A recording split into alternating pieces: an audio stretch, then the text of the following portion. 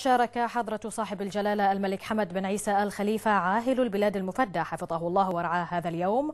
شارك إخوانه أصحاب الجلالة والسمو قادة دول مجلس التعاون لدول الخليج العربية في الجلسة الختامية التي عقدت مع فخامة الرئيس باراك أوباما رئيس الولايات المتحدة الأمريكية في قصر الدرعية بالعاصمة الرياض. وفي ختام القمة ودع حضرة صاحب الجلالة الملك حمد بن عيسى آل خليفة عاهل البلاد المفدى حفظه الله ورعاه. أخاه خادم الحرمين الشريفين الملك سلمان بن عبد العزيز آل سعود عاهل المملكة العربية السعودية الشقيقة.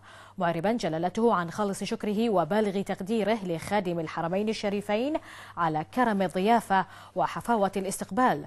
مشيدا جلالته بحكمة خادم الحرمين الشريفين وبجهوده حفظه الله في دعم منظومة العمل الخليجي المشترك ومبادراته الخيرة لترسيخ الأمن والاستقرار والسلام في المنطقة والعالم.